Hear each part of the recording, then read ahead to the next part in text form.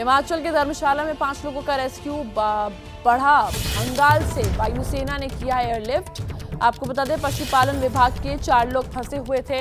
सभी को तांडा अस्पताल में भर्ती कराया गया। बड़ी खबर आपको बता रही है, हिमाचल के धर्मशाला से जहाँ पर पाँच लोगों का रेस्क्यू किया गया, बड़ा भंगाल से।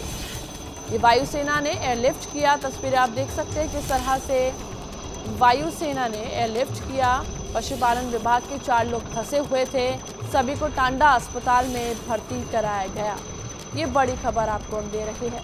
धर्मशाला की तस्वीरें आप देख सकते हैं किस तरह से वायुसेना ने एयरलिफ्ट किया। लोग फंसे हुए थे। कुल मिलाकर चार लोग फंसे हुए थे। एयरलिफ्ट कराकर उनको टांडा अस्पताल में सीधा भर्ती कराया गया। तो तस्वीरें आपको हम दिखा रहे हैं किस तरह हिमाचल के धर्मशाला से तस्वीरें जहाँ पर पाँच लोगों का रेस्क्यू भड़ा बंगाल से वायुसेना ने किया है।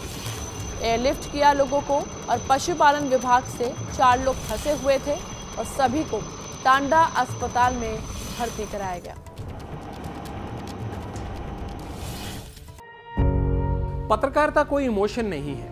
ना अपना कोई ज्ञान देना है और ना कोई विचार थोपना है। पत्रकारिता क्या है?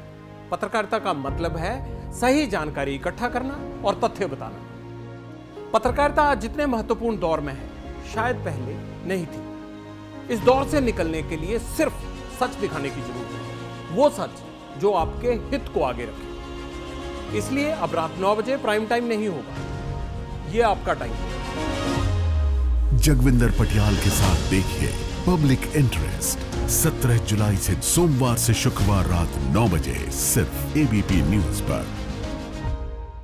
एबीपी न्यूज़ आपको रखे आगे।